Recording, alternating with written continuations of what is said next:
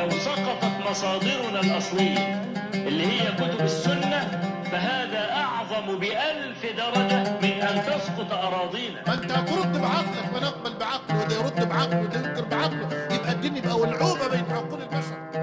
برحب بكم أعزائي المشاهدين في حلقة جديدة من حلقات النقل أم العقل.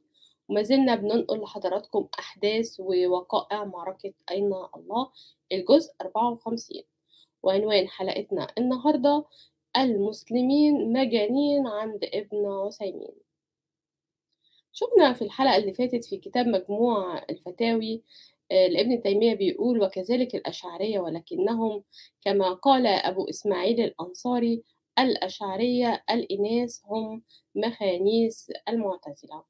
والعلامة سليمان العلوان شرح ليه الأشاعرة اسمهم مخانيس المعتزلة وقال لأن الأشاعرة هم يتبعون في الحقيقة أصول المعتزلة ولكنهم هذبوا مذهب المعتزلة فصاروا أشبه بالقوادين للمعتزلة. وفي حلقة النهاردة نرجع مرة تانية للسؤال اللي وجهه السوداني للشيخ ابن عثيمين ونشوف مع بعض الفيديو اللي جاي.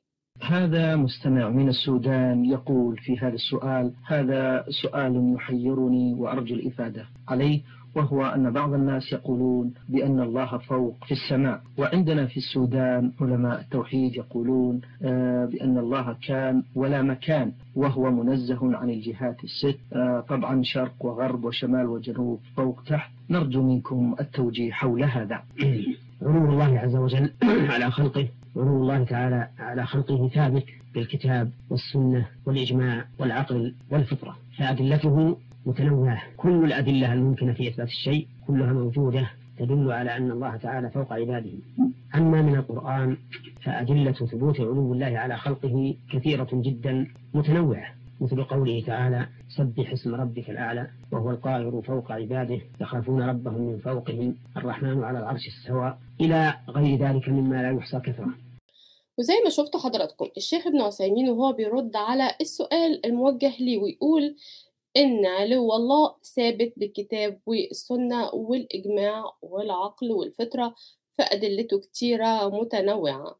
المهم عندي هو كلام الشيخ ابن عثيمين. هو بيقول إن علو الله ثابت بالعقل والفطرة يعني اللي ينكر علو الله أو يأول علو الله ويقول إن علو الله مش علو حقيقي أو يقول لأ ده علو مكانة مش مكان ده إنسان مش عاقل.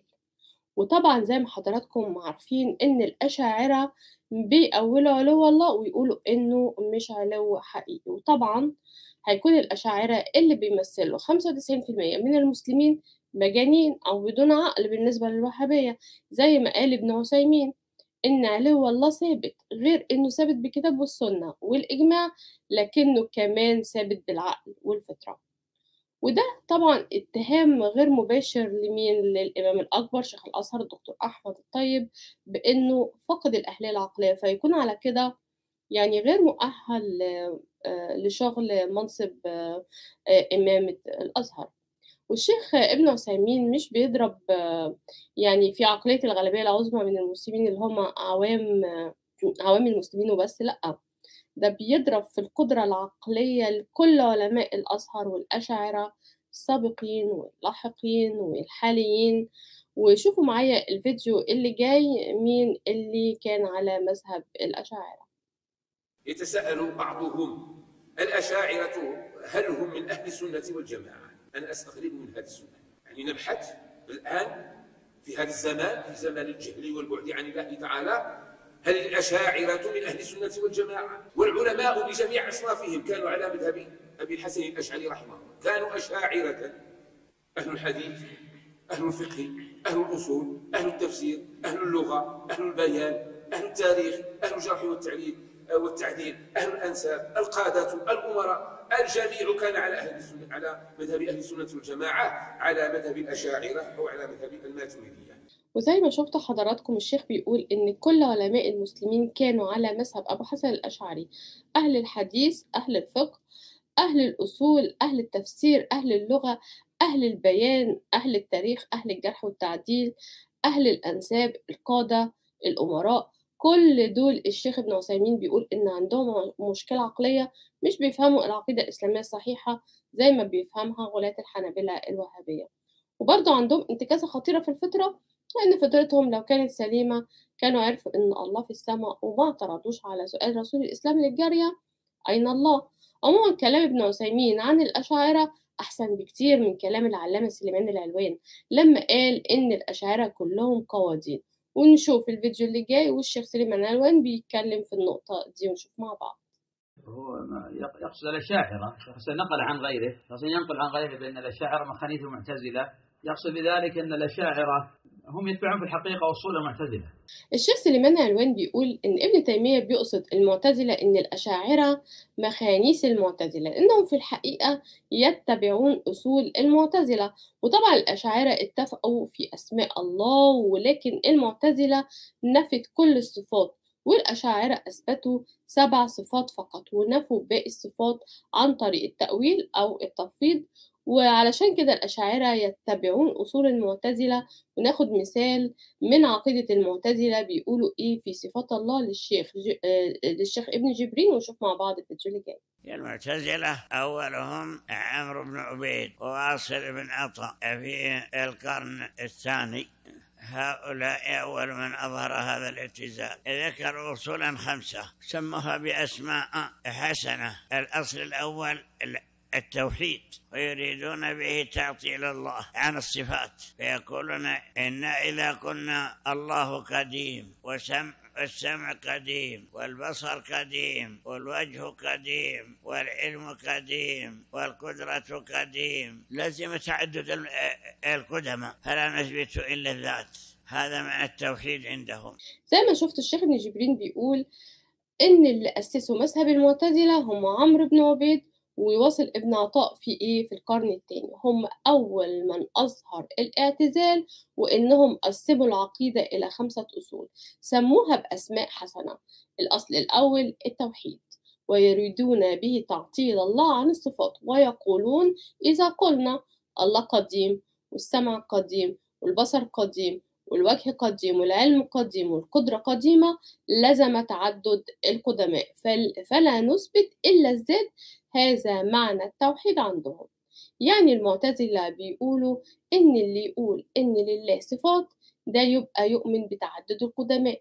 يعني تعدد الآلهة يعني مشرك يعني مخالف للتوحيد. وخلينا نشوف الشيخ عماد رفعت بيقول نفس الكلام على الأشاعرة في صفات الله ونشوف مع بعض الفيديو اللي جاي. الكم المتصل. يعني إيه نفي الكم المتصل؟ قال لك ربنا لا يتكون من من أبعاد. يعني إيه؟ يعني ما ينفعش ربنا تقول لي يد وساق وعين والكلام ده كله. ما ينفعش. ليه؟ مم. أصل أنت لو أثبتت لله يد مم. اسمع بقى. لو أثبتت لله يد هتثبت لليد قدرة وسمع. وإن أثبتت لله قدرة وسمع أث... يبقى عملت اليد إله داخل الذات الإلهية. وإن عملت اليد إله يبقى في تعدد للآلهة داخل الذات يبقى أنت بعض. بعض. تاني برضه. رجعنا تاني للهرطقات دي لا لا ده في نقطة خطيرة. مم. يبقى أنت عملت آلهة داخل الذات الإلهية. أي. تاني تاني. مم. بيقول لك إحنا بننفي الكم المتصل والكم المنفصل.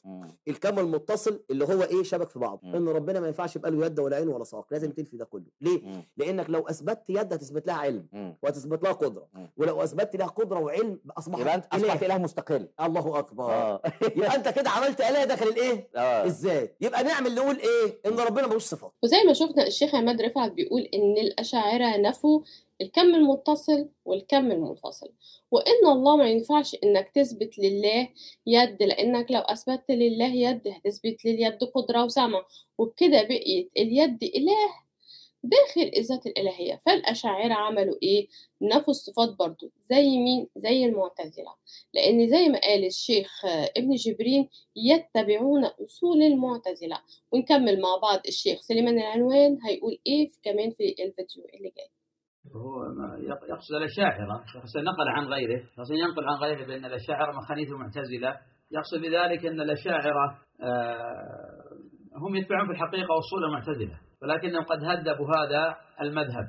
وهذا المذهب الذي هذبوه صاروا في أصول التابعين للمعتزلة. وإن كانوا يخالفونهم في أمور. فصار أشبه ما يكونون هؤلاء بالقوادين لهؤلاء. هذا معنى هذه العبارة. وفي نقطة مهمة جدا قالها الشيخ سليمان العلوان وهي إن الأشاعرة هذبوا مذهب المعتزلة. يعني في بعض العقائد في مذهب المعتزلة الأشاعرة أخدوها لكن العقائد دي بتتعارض مع عقائد الأشاعرة. فالأشاعرة عملوا إيه؟ حذفوا اللي مش بيعجبهم وغيروا الحتة اللي مش عاجباهم علشان تتوافق مع مذهبهم. وده اللي هنعرفه في الحلقة الجاية ونكشفه من خلال مجلة الأزهر وتابعوني وألتقي بكم في الحلقة القادمة وإلى اللقاء. لو سقطت مصادرنا الأصلية اللي هي كتب السنة فهذا أعظم بألف درجة من أن تسقط أراضينا. ما أنت هترد بعقلك فنقبل بعقله وده يرد بعقله وده ينكر بعقله. يبقى الدين يبقى ولعوبه بين عقول البشر.